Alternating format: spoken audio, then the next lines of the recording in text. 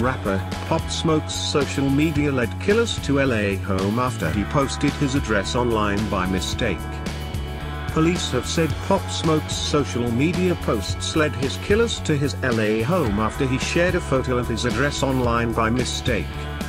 The rapper, whose real name was Bashar Jackson, was fatally shot during a Los Angeles home invasion robbery at the Hollywood Hills home he was staying. He was 20 years old. Back in February, the Los Angeles Times reported that the rapper had posted photos on social media showing large amounts of money, designer goods, and a luxury car. He also posted a story on Instagram and Facebook of designer bags, and the house's full address could be read on the packaging. Speaking on the arrest of five suspects in connection to the killing, Captain Jonathan Tippet of Los Angeles Police Department's Elite Robbery Homicide Division, said that three men and two teenage boys likely went to the home because they knew Pop Smoke was there from social media posts. He said they stole items from the home, but didn't reveal what was taken. We believe that it was a robbery.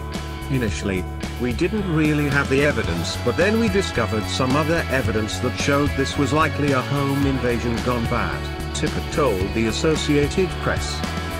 It's our belief that, the home invasion robbery, was based on some of the social media posts, Tippet said.